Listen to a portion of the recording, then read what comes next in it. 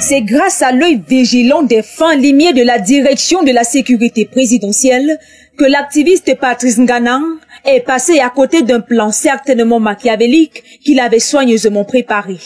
Annoncé à Genève pour prendre part à la manifestation du 17 juillet dernier, dénommée Opération Kacham, c'est ce lundi, soit deux jours plus tard, que cet Américain de nationalité a voulu faire son show à l'Intercontinental, hôtel où séjourne le couple présidentiel depuis le 11 juillet 2021. Toute tentative de parlementer avec la direction a été vaine. Sa réservation a donc été annulée et c'est la queue entre les jambes qu'il est sorti de l'hôtel qui est au centre des préoccupations depuis samedi dernier. Cette nouvelle tentative échouée s'apparente pour certains à un troisième pénalty raté. Patrice Ganan est bien connu au Cameroun. Ce personnage réputé pro-Camto avait été interpellé le 6 décembre 2017 à l'aéroport international de Douala alors qu'il tentait de rejoindre les États-Unis d'Amérique. Placé en détention à la prison centrale de Yaoundé Kondengui, trois chefs d'accusation pesaient contre lui. Outrage au corps constitué, menace de mort à l'égard du président de la République du Cameroun et apologie du crime. Alors qu'il risquait cinq ans d'emprisonnement, ce dernier a bénéficié de la magnanimité légendaire du président Paul Biya. Les poursuites contre lui ont été abandonnées.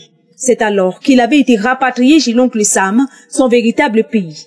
Quatre ans plus tard, cette fois-ci à Genève en Suisse, il est stoppé net dans une autre aventure qui visait sans aucun doute à nuire à la tranquillité du chef de l'État. Si Patrice Ghana était la dernière carte de l'opération Kacham, l'on peut donc conclure qu'elle s'est soldée par un échec. Selon la presse helvétique, plusieurs membres de la brigade dite anti-Sardinar s'étant déployés à Genève ce samedi ont été condamnés par la justice suisse pour violation de domicile. Ils avaient tenté de s'introduire de force à l'hôtel intercontinental le 17 juillet dernier. Noya Cameroun vient d'être libéré.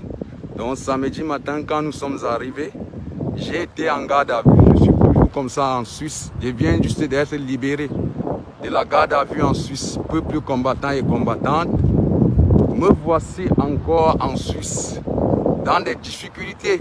Des ordonnances pénales ont été servies à chacun avec à la clé des amendes à payer. La messe dont dite, la montagne est encore accouchée d'une petite souris.